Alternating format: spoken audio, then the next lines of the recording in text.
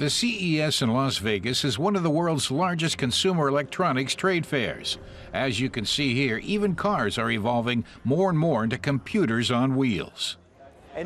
Car tester Matis Kurat reminds us that NVIDIA has become one of the leading makers of graphic cards, but not many people know it makes a chip, like the one in this laptop, that can improve traffic safety.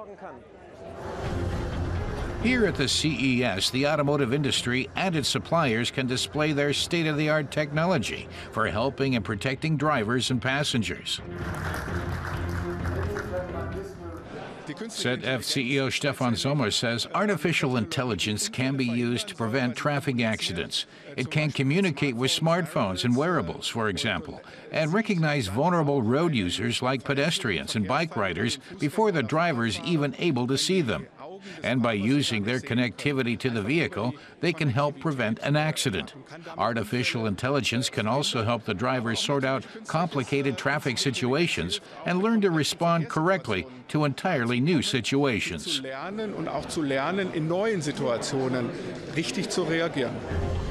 BMW is at the CES demonstrating clever studies that embody a new style of driving.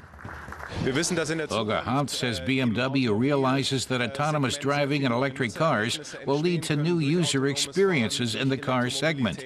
The company is exploring how these experiences could feel in a car. One result is a car's interior that brings the living room into the mobility of tomorrow, combining the latest technology with comfort. This vision of the future has been made a reality in a BMW 5 Series. Tester Matis points out that this isn't any normal Beamer 5. It's a kind of time machine. Ronald Ecker agrees, saying the time machine takes us to the year 2022.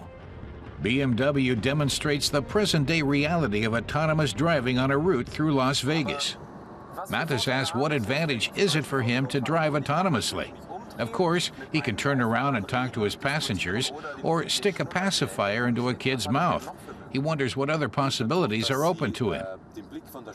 Peter Waldmann explains that since you can look away from the road and even take your hands off the wheel, the car becomes a kind of smart living room that integrate functions and services familiar from digital life outside the vehicle.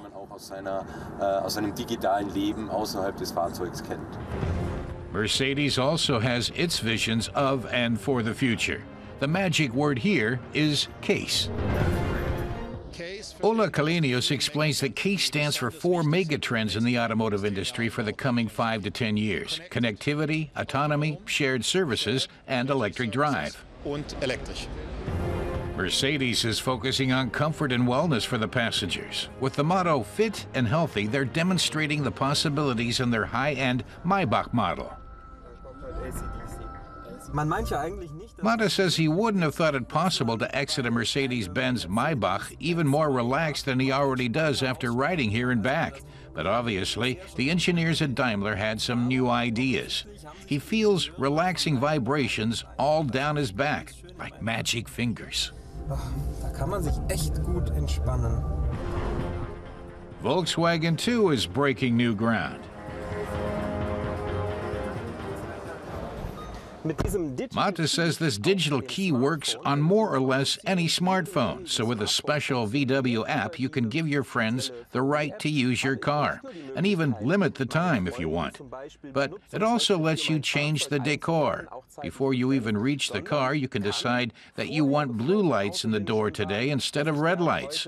And then the car will reset them for you. In den Türen haben möchte und dann setzt das Auto das direkt um. Und And the multimedia features almost let you talk to the car in natural language. Wo ich nämlich wirklich in fast natürlicher Sprache mit dem Fahrzeug reden kann. VW, let's go to San Francisco. Okay, I am calculating the route to San Francisco. The route is long. Shall I look for a gas station? Yes, please. Okay, also to a gas station. So, dann kann jetzt also so Matis would be ready to head to San Francisco, except that he can't drive away here with all these people standing around. And he says the functions will only be introduced into the various VW models over the next few years, one at a time.